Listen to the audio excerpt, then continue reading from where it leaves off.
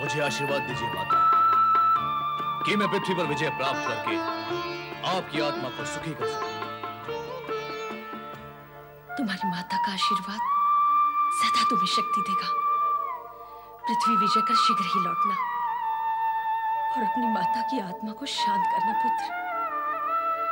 प्रणाम माता। महाबली दैत्यराज हिरण्यकश्यप की। महाबली हिरण्यकश्यप की।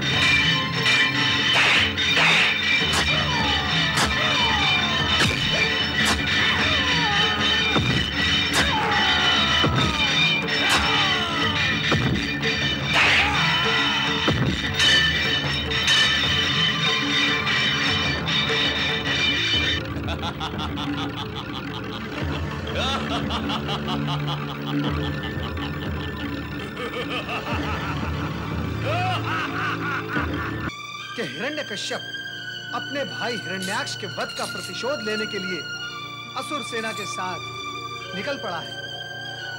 मैं प्रत्यक्ष देखकर आ रहा हूँ। श्रीहरि श्रीहरि, अब क्या होगा? जो विधाता चाहेंगे। वही होगा। सृष्टिकर्ता ब्रह्मा जी ने देव और दैत्यों का संघर्ष सदा सदा के लिए विधि के विधान में लिख दिया है। इसलिए आपको तो सदा ही दैत्यों से संघर्ष के लिए तत्पर रहना चाहिए।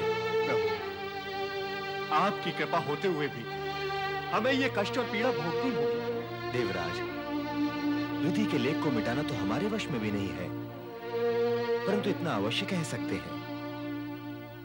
दैत्य शक्ति जब चरम सीमा पर आ पहुंचेगी